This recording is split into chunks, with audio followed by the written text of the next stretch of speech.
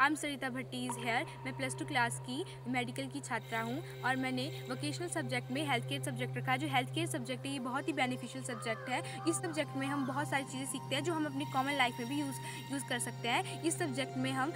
ये भी सीखते हैं कि कैसे अपनी हेल्थ को हम प्रिवेंट कर सकते हैं डिजीज़ से और जैसे कि हमें पता है जो कोरोना है वो पूरे वर्ल्ड में स्प्रेड हो चुका है इस कंडीशन में हम खुद की हेल्प अपनी फैमिली की हेल्प कैसे करें तो ये सब कुछ हमने हेल्थ केयर पढ़ा है तो इस तरह से ये आजकल हम ऐसा लग रहा है कि जो हमने हेल्थ केयर सब्जेक्ट रखा है ये बहुत ज़्यादा बेनिफिशियल है और इस सब्जेक्ट में हम अपनी पोर्टफोलियोज बनाते हैं और अपनी इसमें हम गेस्ट लेक्चर्स होते हैं हमारा और हम फील्ड विजिट करते हैं जिसमें हम देखते हैं हॉस्पिटल में जाके कि पेशेंट की केयर कैसे की जाती है जो उसकी जो लाइफ है उसे कैसे रिहेबिलिटेट किया उसकी जो कंडीशन है उसे कैसे रिहेबिलिटेट किया जाता है और इस इसमें हम सारी जो चीज़ें हैं वो प्रैक्टिकली भी करते हैं इस तरह से से हम कह सकते हैं जो ये हेल्थ के सब्जेक्ट है ये बहुत ही ज़्यादा यूज़फुल सब्जेक्ट है as compare to other vocational subject क्योंकि ये हमारी कॉमन लाइफ में बहुत ज़्यादा रोल निभाता है थैंक यू